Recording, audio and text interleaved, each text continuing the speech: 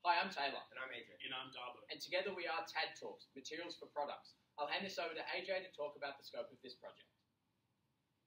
Thank you, Taylor. The scope of our project is to identify three materials to be utilized as bicycle frame. We are to identify the properties and the market in which these materials will be entering, as well as the production and performance of each of these materials. I'll now hand it over to Taylor to talk about the breakdown. So we've broken this project down into identifying three materials. The first material is the most cost effective and most readily available, followed by the most high performance, therefore the highest cost, and then thirdly, a good compromise of material to finish it off.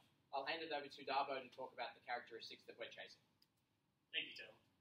So the characteristics that we're chasing, mechanical properties being one, uh, being able to withstand stresses and strains at its peak performance, being cost effective, weather resistant, very light, of course, and recyclable. I'll now hand it to AJ to talk about the first material.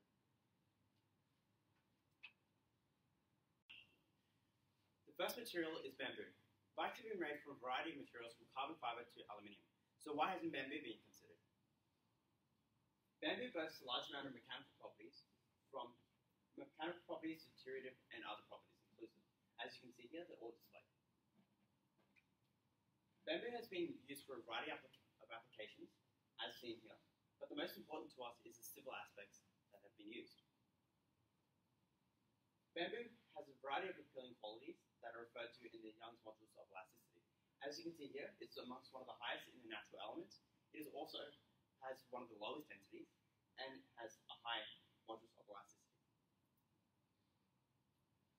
This table here depicts bamboo's density in comparison with its counterparts and natural elements such as wood, grain, leather, and acrylic.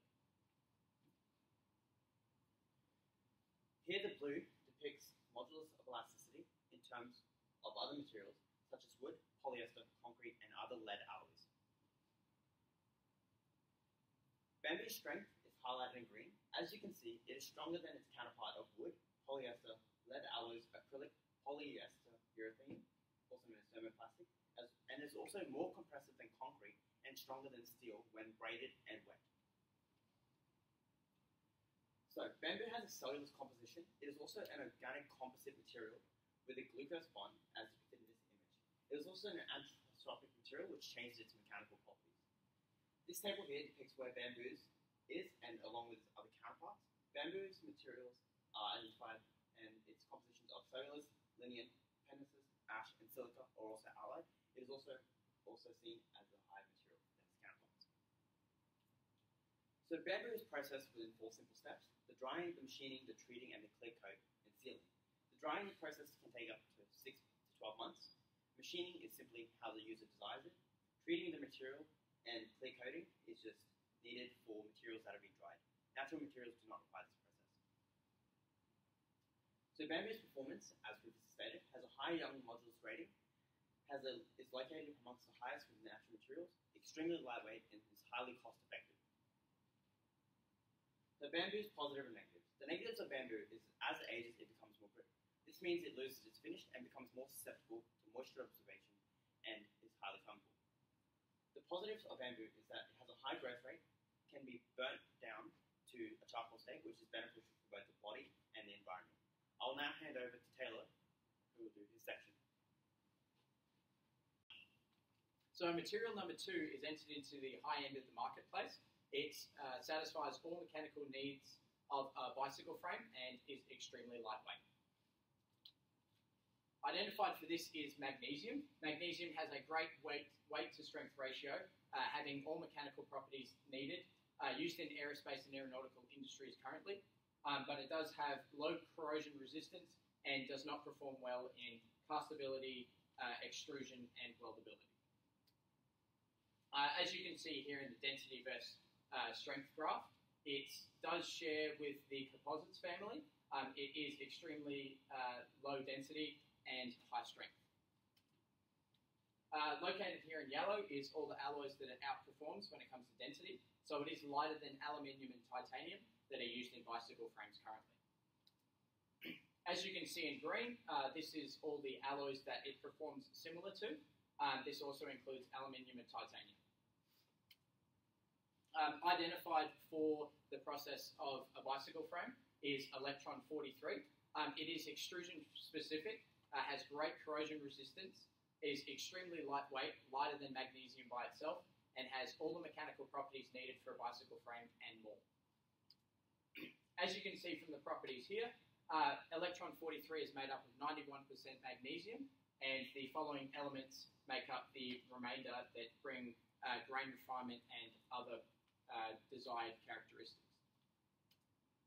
Uh, listed here are the properties that Elektron 43 have next to aluminium, uh, because aluminium is used in bicycles currently.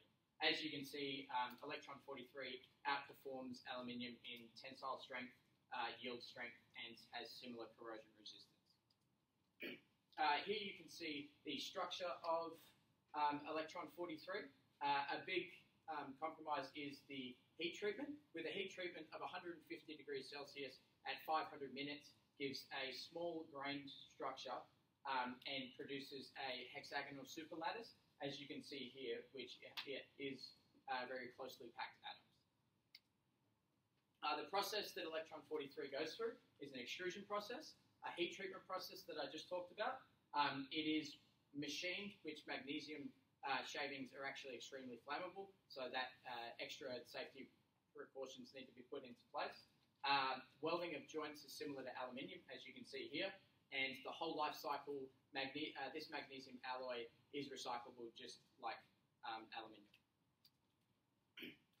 Uh, performance, uh, this Elektron 43 performs great in all mechanical properties that are needed for a bicycle frame. Uh, it is extremely lightweight. Um, the appearance is the same as bicycle frames that can be purchased today, um, but it is not very cost effective uh, due to all the rare earth um, elements that are added to it to get its properties. Um, I will hand it over to Davo to talk about the third material.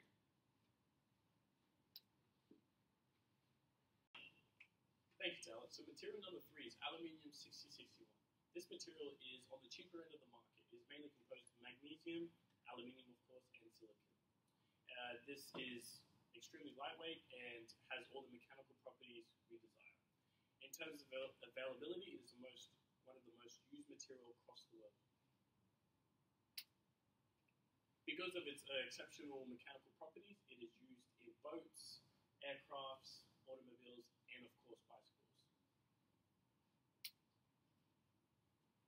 Aluminium 61 goes through a process of extrusion, hydroforming, and TIG welding, as well as a heat treatment. The heat treatment is important as it includes reheating at low temperatures followed by a solution treatment. This is important because it gives it all its mechanical properties like strength, toughness, and so on.